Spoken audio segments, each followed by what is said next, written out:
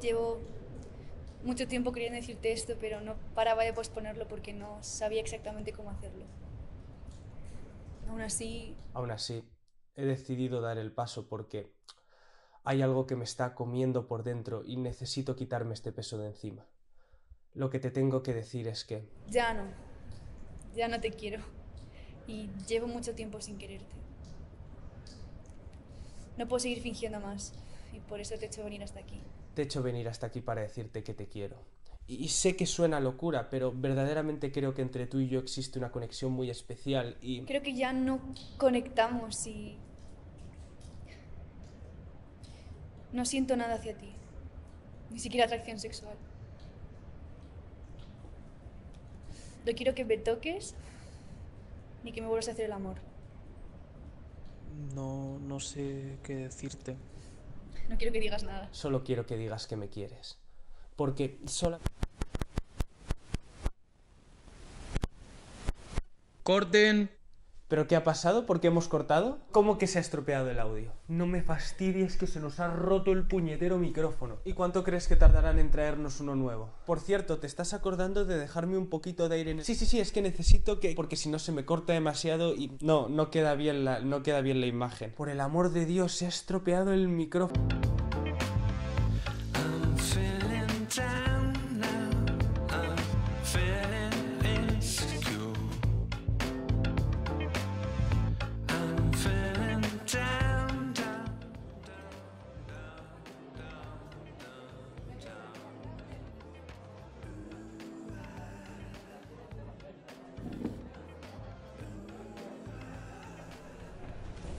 Oye, una pregunta, ¿me dejarías un, ¿me dejarías un cigarrillo?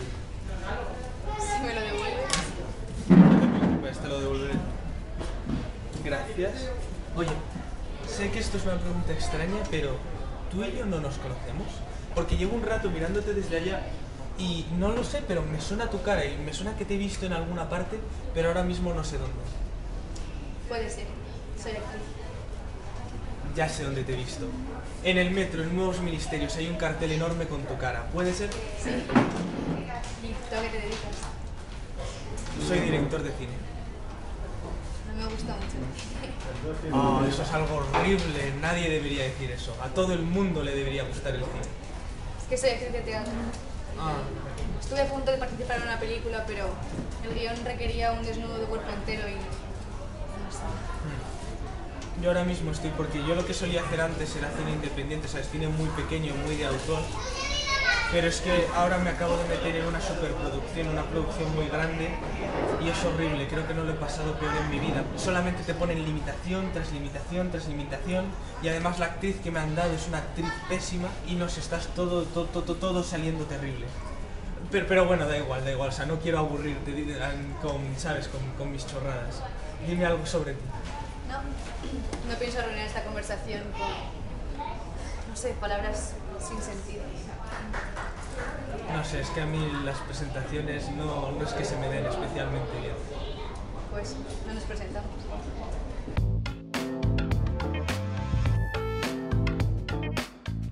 ¿Y nunca has pensado en meterte en el cine?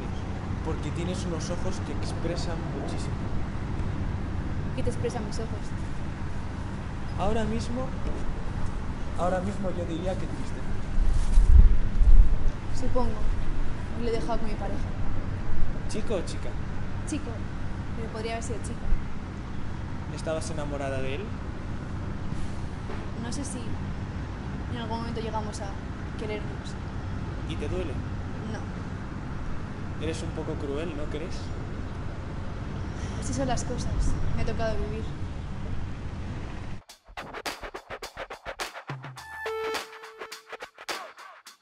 Oye, una pregunta, ¿tú has leído Luces de Bohemia de Valle Inclán?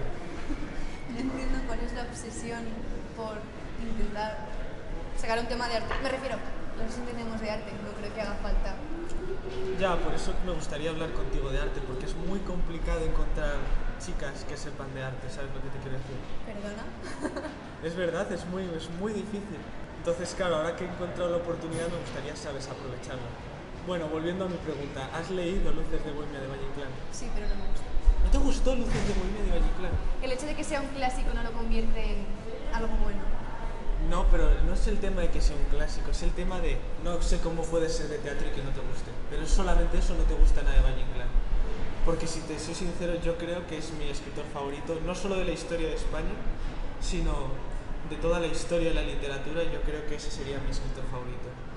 Supongo que hablando de teatro y de esa época, prefiero Lorca. A mí Lorca no me gusta porque es demasiado relamido, ¿sabes lo que te quiero Pero decir? tiene sus detalles. Tiene sus detalles, es bonito, pero yo creo que Valle Inclán es más bonito porque es más... Es mucho más romántico, ¿eh? Es más, pero es que Valle Inclán tiene como un mayor toque, o sea, Lorca es como demasiado... ¿sabes lo que te quiero Enrevesado. decir? Pero- Enrevesado, exacto. Valle Inclán, en cambio, es, tiene el toque. Se ve sobre todo en las sonatas, porque las sonatas es novela con poesía. Pues no sé cómo te puedes dedicar al cine si te gusta tanto el teatro. No sé, me gusta más el cine porque yo, no, yo cuando escribo no pienso de forma literaria, sino que pienso de forma visual. O sea, yo, además el teatro, o sea, hay que comer y el teatro no, no, no da para comer, ¿sabes lo que te quiero decir?